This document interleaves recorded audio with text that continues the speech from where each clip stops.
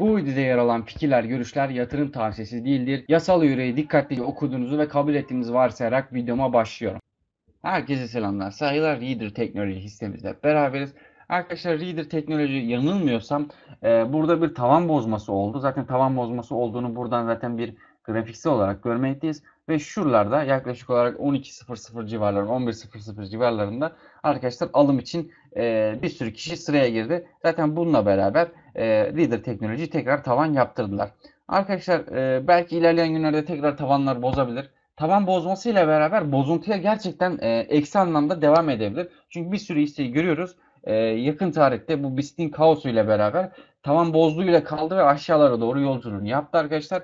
E, ben Reader Teknoloji'yi de dikkat edin derim. E, her böyle tavan bozmasına atlayacak e, senaryolara girişmeyin. En azından e, bir incelemede bulunun derim arkadaşlar. Reader Teknoloji'ye güveniyorsunuz bu işleri yapın. E, ve de gerçekten e, Gerçekten yani güvenmeyle alakalı Reader teknoloji arkadaşlar. Ben en son durumda bunları gösterdim.